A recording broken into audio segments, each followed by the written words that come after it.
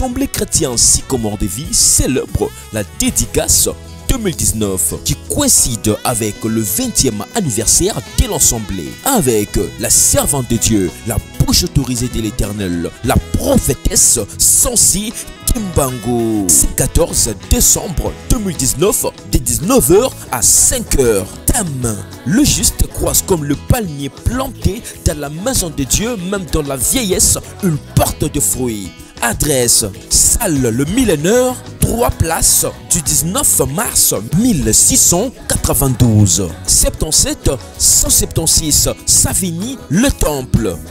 Contact 07 83 17 91 39 06 30 93 85 09. la dédicace 2019, un événement à ne pas rater.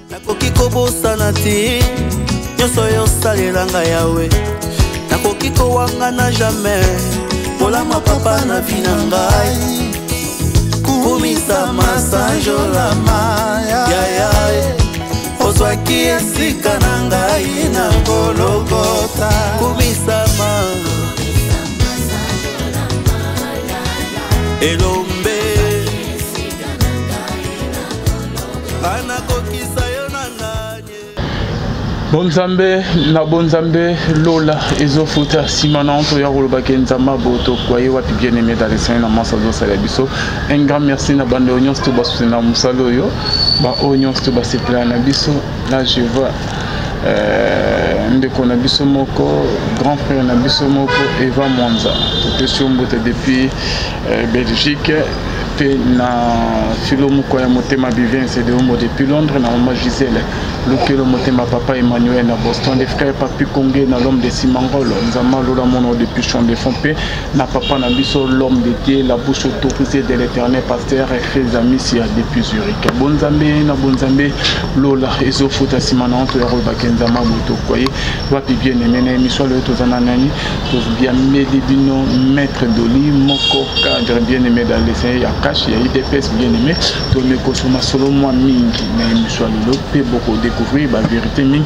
ekobima na émission ya lelo rien que la vérité avec maître doli mwanza bonjour maître doli bonjour euh, mwana mboka santé ça va santé ezali mwa malamu mpona mhm. koloba teke eza malamu mpo mhm. makambo euti oleka récemment awa ah, ematisi na biso mwa batenere ebele donc euh, erendre biso un peu nerveux mais bon qu'à cela se tienne c'est notre pays euh, mm. tolingi bolamu na yango tolingi makambo malamu oleka ezala toujours euh, euh, liboso na yango yango wana togarde un peu notre mm. tranquillité uh-huh. euh, yango wana voilà pourquoi na biso yo ke nzoto eza mwa malamu Maître Denis Monza, quand même oza d'accord na bandeko oyo ke babanda koloba ke na kati ya politique on ne se fait pas des cadeaux en politique Maître Denis Monza.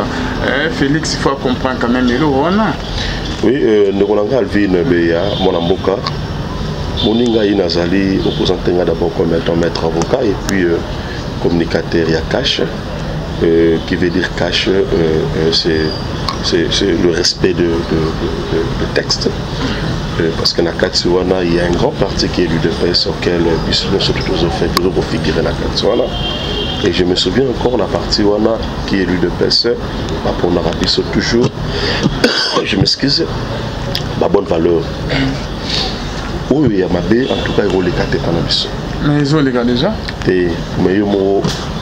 omonaki quand même euh, comment est-ce que la base a réagi mm. vis-à-vis na makambo outi koleka awa mm-hmm. ndeko alvin nakosenga vraiment émission na yo ya lelo tomeka mpe koéclaire l'opinion mm. na makambo oyo nyonso tu mm-hmm. baméandre to babavire eza kosalama na mboka mm-hmm. ndeko alvin ntango nalobaka que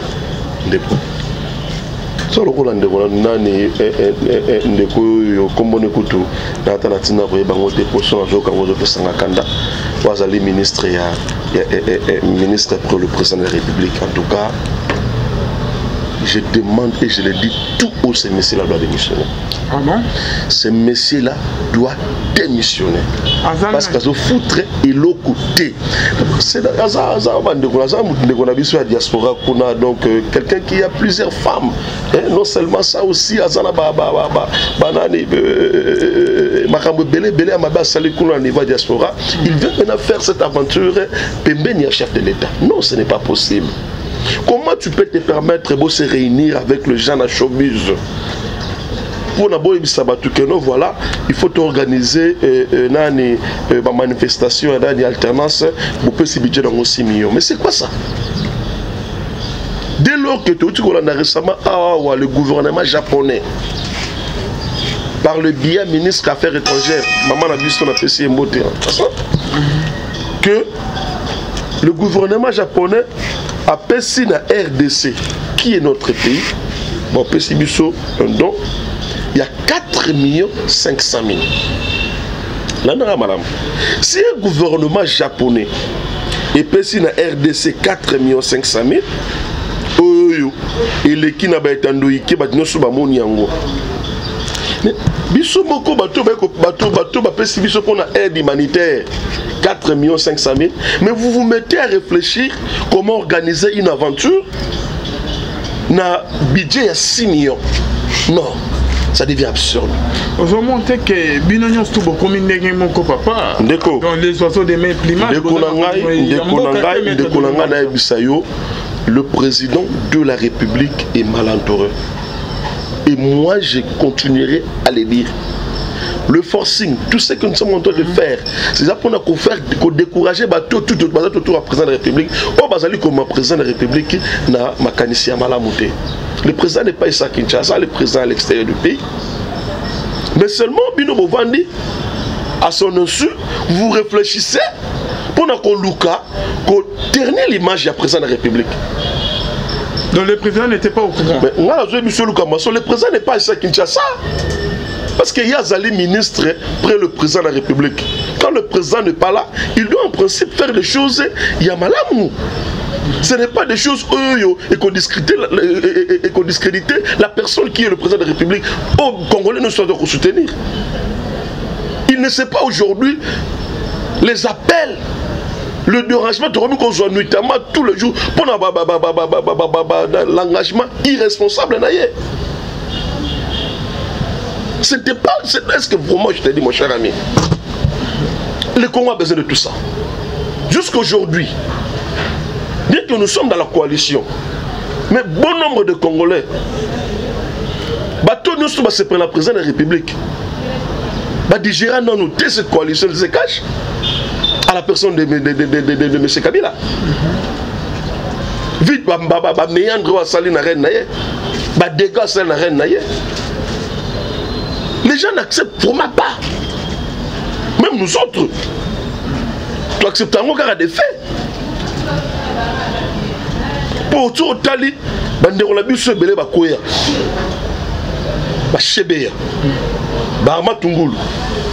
barosi chimanga babambadundala tout ce monde là l'alternance oyo akoba l'alternance wana ce n'était pas ce n'est pas une alternance oyo tozwi yango gratuitement non il y a eu le sang des congolais qui ont coulé nous avons marché nuit donc presque chaque jour marche basalise awa kosala biloko nyonso oyo ke bango basangani mpona ke simile ebi donc ondire ke ya kobosana komba nyonso tu bozali maintenant c'est par là je te dis il y a des gens qui sont tout autour du président de la république oyo oh, baye na baagenda na bango mpona kofaire comment dirais-je haïr le président na bafidèle na ye c'est ça au juste vous vous réunissez na showbuse et puis je demanderai au président, dès son retour ici à Kinshasa, à faire partie un bon nombre de ses conseillers. Et en première liste, d'abord le ministre là. Ministre, Papa, ta place n'est pas ici. Tu dois rentrer là-bas en Belgique. Rentre là-bas. Laissez-le. Non, mais il ne, maîtrise rien. Ah il ne maîtrise rien les enjeux de l'air en maîtrisant le thé. Éviter la tension, comment est-ce que le pays est en train d'évoluer avec tout ça Parce qu'il y a des gens mpota na bango na kati ya misisa na bango mpota wana eza nanu ya bamefe baabus de droit esalama na bandeko kabila esa bande ti sikoyo nanu donc esefasama totalement te mais quand même nous faisons un effort ya koconstate yango ezala nano kaka bongo mpo na kosauvegarde la coalition mais vous allez au-delà au-delà non non mais maître denis monza lelo bokomi oyo bake bandeko ya diaspora bazongo bino moto bobengisaki bango boya kotravaille na yango tobenga je ne suis pas contre bandeko ya diaspora mais nous voulons bandeko ya diaspora bakoya baya mpona ko faire élever le pays ce n'est pas qu'ils viennent pour nous mettre encore en difficulté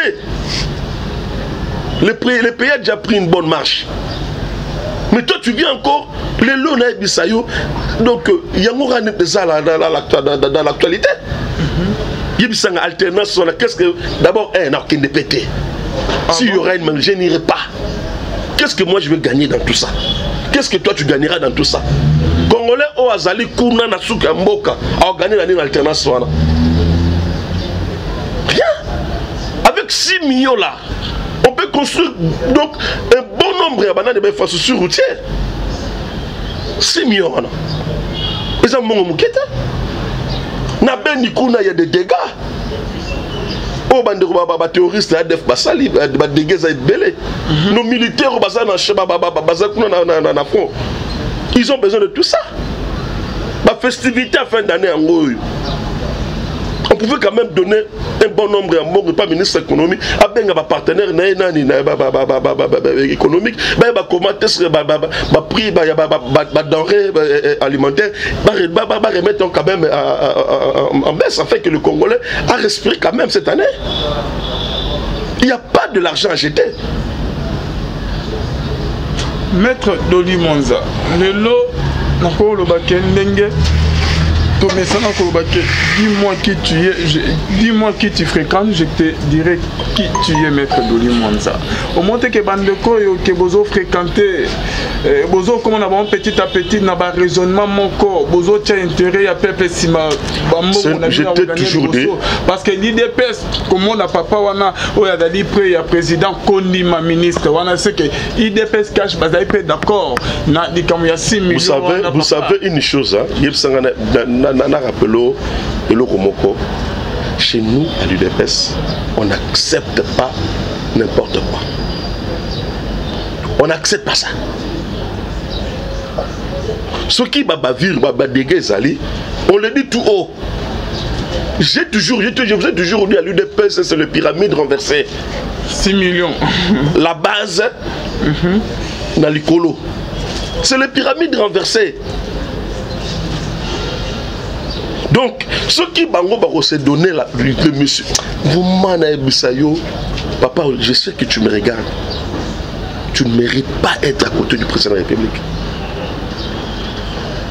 et je suis le premier à te le dire en face tu dois démissionner démissionne de cette fonction bamoni yango cope te bon tobeta cope oyo 6 million le roi elezala mwa eh, organisation ekozala wana ngai pai na kati organisation nakobenda mwa 500 na ngai na tie na poche oyo akobenda boye boye tout ça c'est ce qu'ils ont réfléchi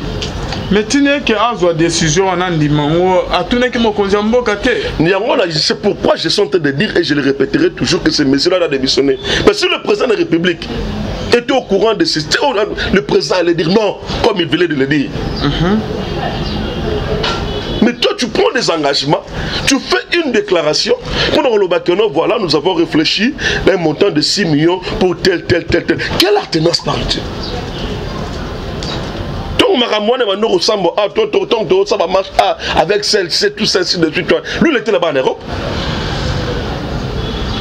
il était là entré de là-bas yaza kuna bani nazolia babiftek na avec makambo na ndoko osala wana tout ça il était là il ne sait pas comment est-ce que le congolais oyo basuya sa na bango pour ki kabila parce que c'est kabila réellement il voulait une entraînance angi fa asala yango depuis 2016 asala yango te pourquoi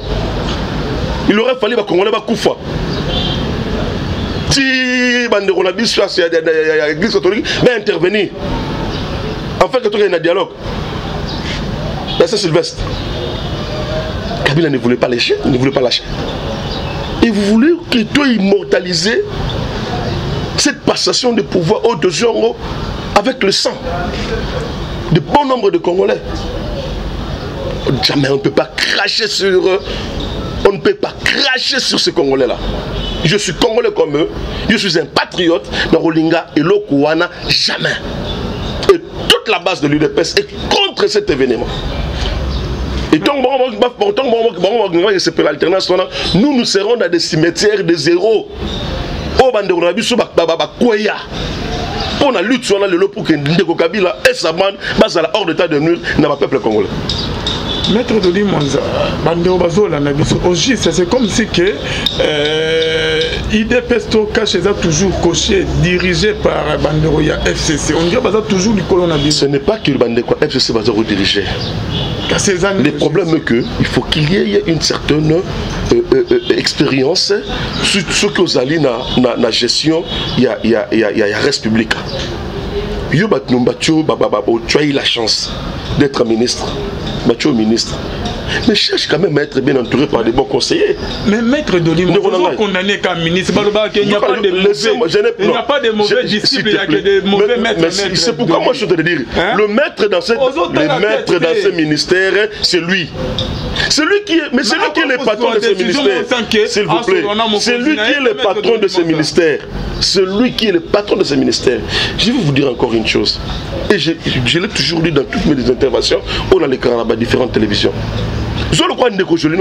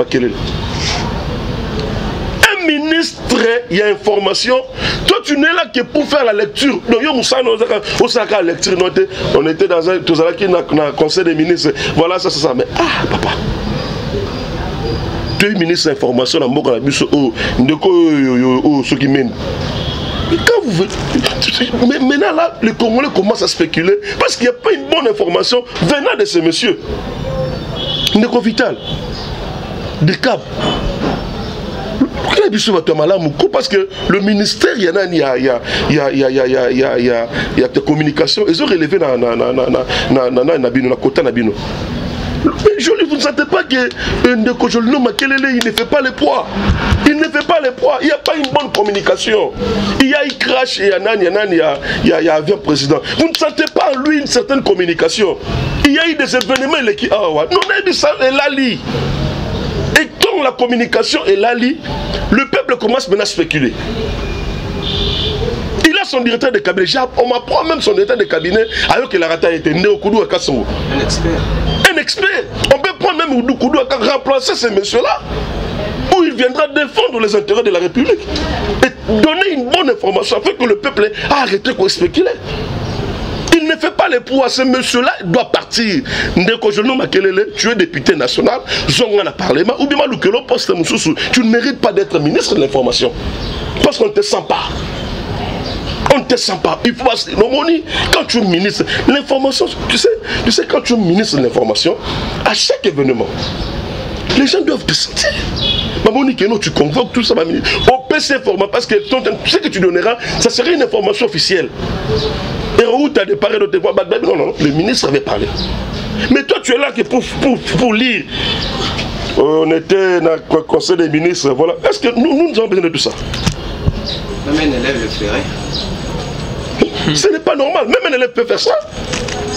La lecture, oui, tout le monde peut bien le faire. Mais réfléchir sur les questions de droit ou sur les questions de la société, c'est ce que nous, nous voulons. donc, Ndeko, Ndeko, le président Vital, vous êtes, vous êtes de même avec moi, Congolais, nous dit que ministre information au Tchawana, Azokokane Moussa Mettez-lui à côté, Ndeko Bagame, l'un de Bazalé.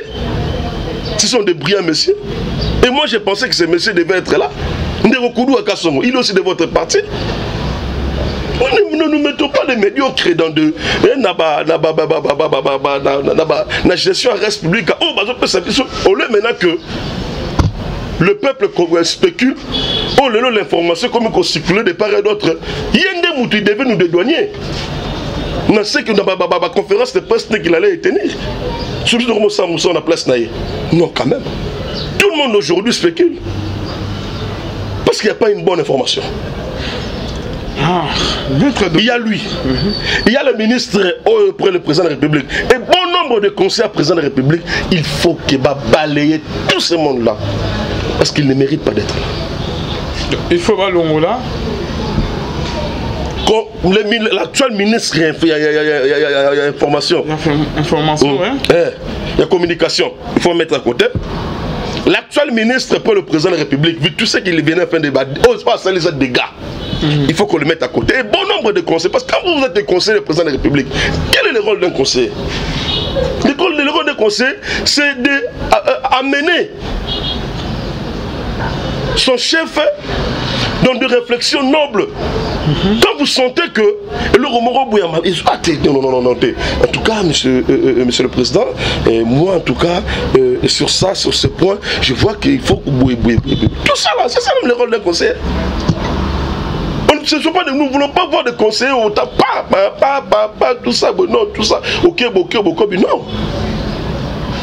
non maître doli monza bandeko bazolanda biso nyonso na ndenge outi koloba maître doli ozala nango na nzela ekozala nini cela est dû ya quoi manque ya expérience to bandeko yango nde euh, euh, batanga na bango bien te to bazwizwi baposte wana ya baministère mon ami je te dis il y a, il y a, il y a un décalage si vous, vous suivez bien le président de la république mm. le président est au dessus mm. même en terme de réflexion mm -hmm. bato oyo baza appelé ya kofaire fait ya kotravaille na ye batikali kaka boye ils ne veulent pas évoluer bongo président ye moko ayebaki bango te baza na non écoute d'abord mon ami na niveau moko pour que pour que pour que vous, vous puissiez constater une une une, une expérience uh -huh. na mutu il faut remettre à l'œuvre non so tu penses que eza lokola papa na biso oyo euh, oh, ya diaspora oyo ya nani aza ministre pour le président république soki batiaki place wana te olingo oyebaki une expérience na ye il fallait d'abord remettre à l'œuvre non c'est pas le tour non non non ce monsieur ne fait pas l'effort il doit quitter ndeko jolino makelele ntango baye kotie wana ah te en tout cas non non non la presse na yebisa la communication na congo ekiti boye mais nda laisser ça comme ça lui il akiti sango boye il faut quand même que les gens sentent que nous avons un bon porte-parole du gouvernement. Et puis, même le porte-parole du chef. Non. En tout cas, il y a bon nombre à bâton nous sommes tout à présent la République doivent partir. Il y a des Congolais qui peuvent mieux faire que les gens oublient que nous sommes restés qu'avec 4 ans. Nous venons déjà de consommer notre une année. Il nous reste 4 ans. Le président a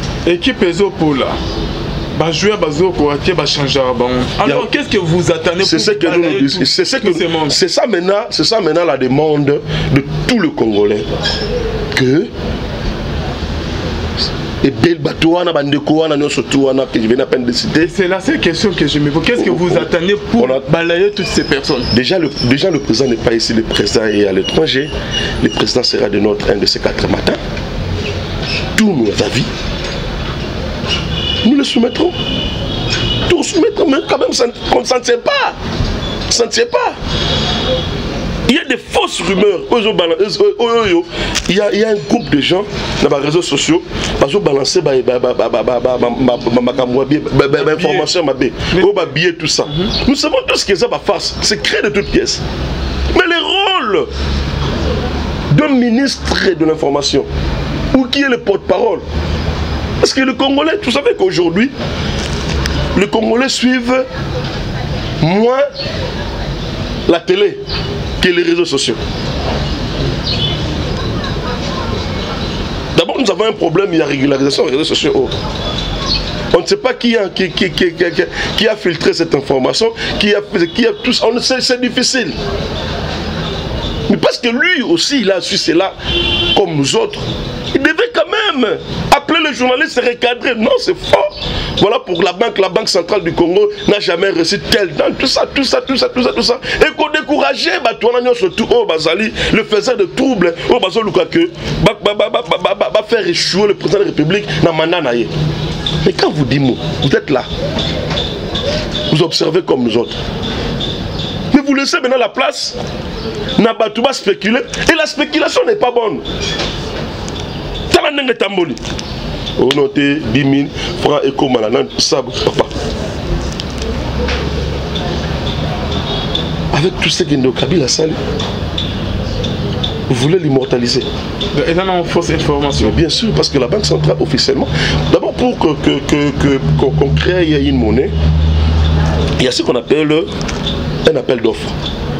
oyo bakobenga banani ba bandeko oyo basala basérigraphie wana tout ça chacun donc motu na motu abengi ye apesa format na ye na tel tel tel tel tel osalama après cela après makambo nyonso to wana ya toute une étude esalamaka wana et puis on informe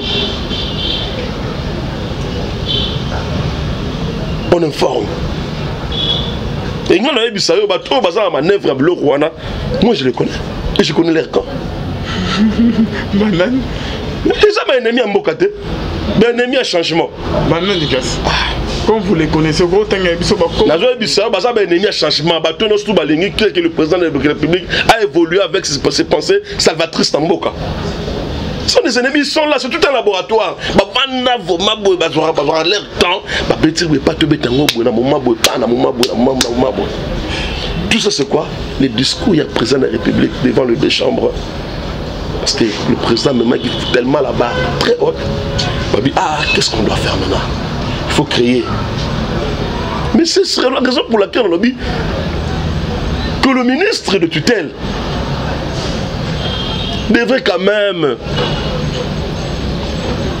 le même le même ou après quelques heures ya publication biloko wana aleka ah, pourquoi ça dementi nango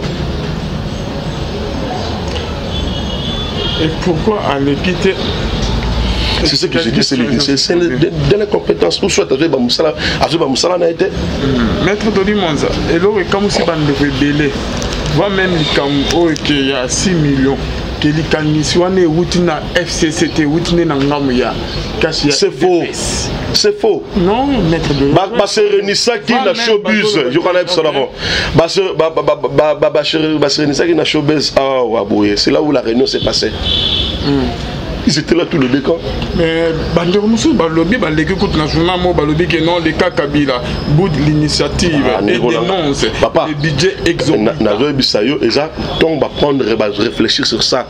na comité wana basalaki na bacomité ya baoyo nabenga comité ya bamiyibi parce qu'ils veulent voler la république fcc était contre euh, cette initiative maître ah, dominique monza tu sais quoi ces gens là hein, et ils ne peuvent jamais vouloir le bien de ce pays eza lokola ndeti omoni mpuku mpuku ya monoko molai wana soki aza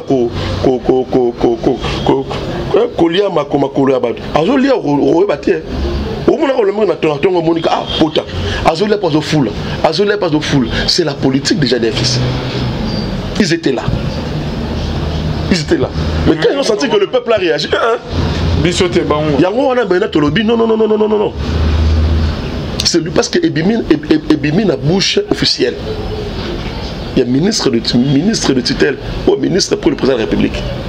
il était là et il a dit ça aussi il pensait que c'est là enge esala elengi na bana mboka to nga navandi na nga eh, bosala o alternance quelle alternance pas quelle alternance c'est pour ce pouvoir que nous avons aujourd'hui c'est un pouvoir de sang tobundi nous nous sommes battus il y a même bon nombre de nos compatriotes oyo batiki biso lelo batiki na bana yango bafamille na bango comme ça non non non non donc etika nango kosalama te toala mposa nango te d'ailleurs pour moi ce jour là tozala na baekloke na baeglise tokende obe na bacimetière tokende kolela bandeko na biso oyo nyonso tu baperda basala na bango pour le pays esalama ata bongo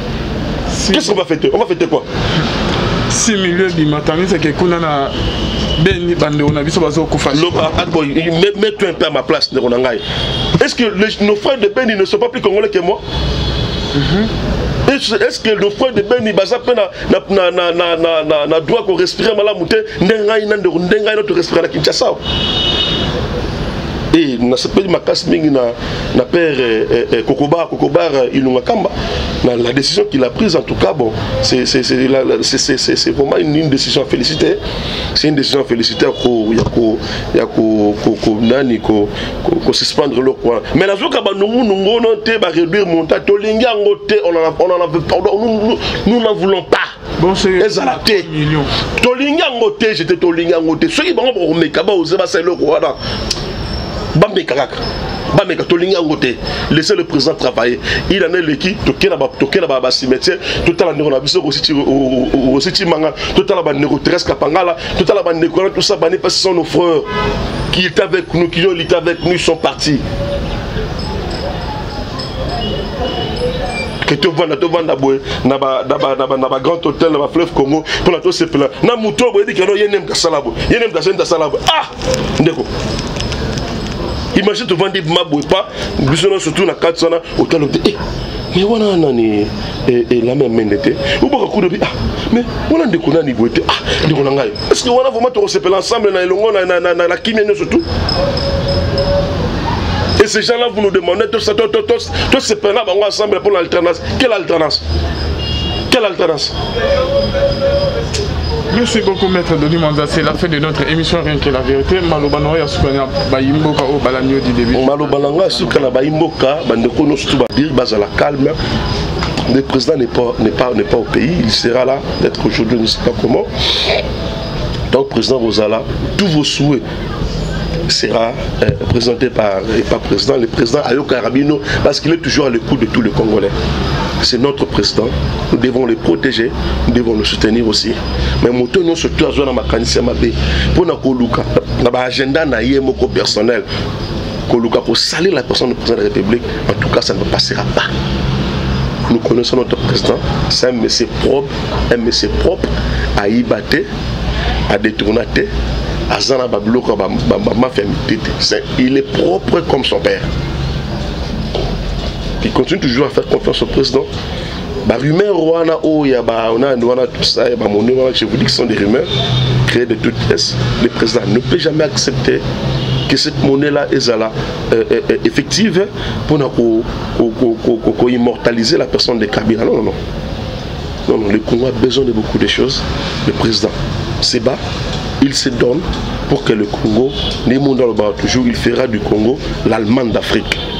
nous le faisons confiance mais bandeko oyo oyo que je viens que je viens à peine de citer ici ndeko na biso azali ministre pour le président de la république papa e zonga ta place n'est pas ici zonga nano kuna nano peut-être omoni omoni makambo mosusu apema mambo age peut-être euh, l'age ezo compliqué mingi azonga nano apema e ndeko na biso euh, euh, jolino makelele vous le savez bien que je n'ai pas de problème personnel avec toi. Mais quand il s'agit du pays, nous devons tous voir d'un même côté.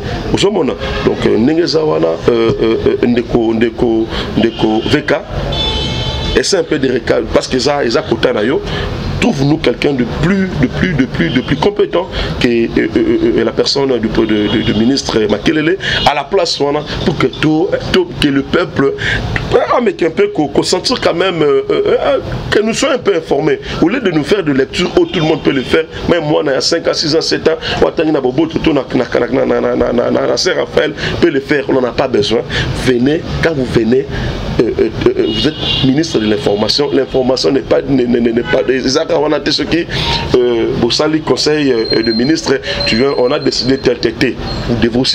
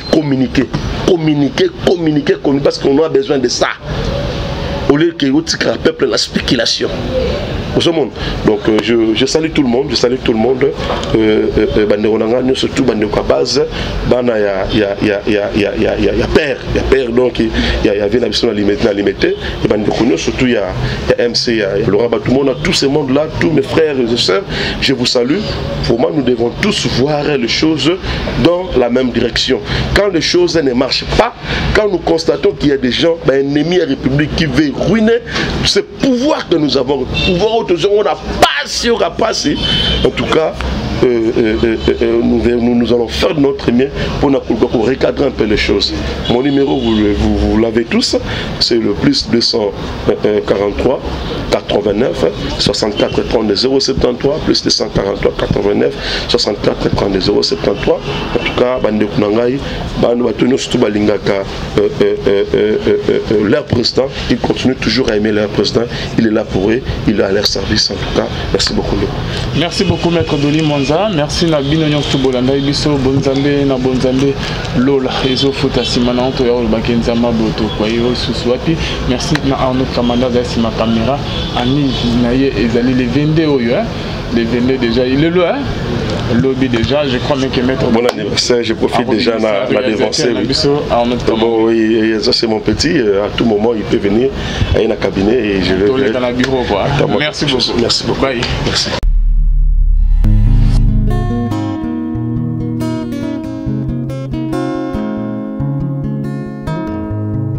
Le temps passe et ne s'arrête jamais.